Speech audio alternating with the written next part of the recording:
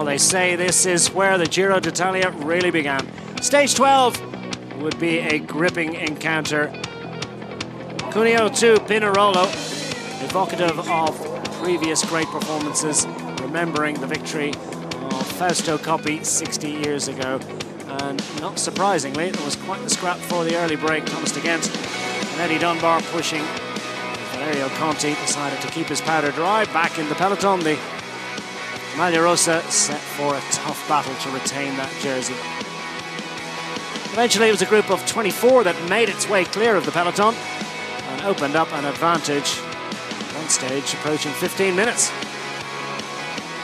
In the wake, the Team UAE Emirates squad led the peloton, but safe in the knowledge that Jan Polanc was safely in that group up front and heading to glory.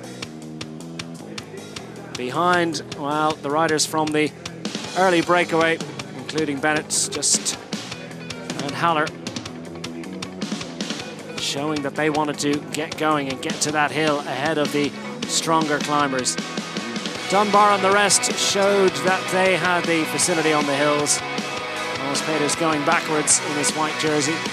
Miguel Angel Lopez going forwards from the group of favourites. Mikel Landa fancied it too.